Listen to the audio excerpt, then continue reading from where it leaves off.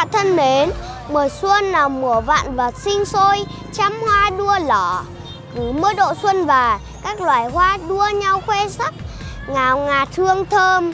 Nếu như hoa mai là tượng trưng cho một cái Tết sung túc ở phương Lam, thì hoa đào là biểu tượng của một mùa xuân bất diệt ở miền Bắc.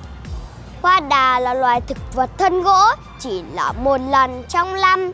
Chính vì vậy, hoa đào đã trở thành biểu tượng của một mùa xuân của ngày Tết, đoàn viên sum họp. Người miền Bắc thích chơi cây đào vì hoa có màu hồng đỏ. Mang lại may mắn phúc lộc đầu năm.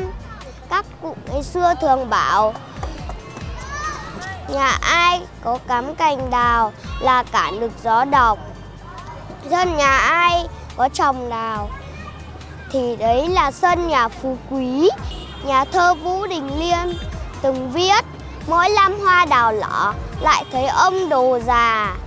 Hoa đào từ bao giờ đã đi vào thơ ca một cách tự nhiên như thế? Nhân dịp Tết đến xuân về, Nhật Anh xin kính chúc quý khán giả Một năm mới an khang thịnh vượng, Vạn sự như ý. Chúc mừng năm mới.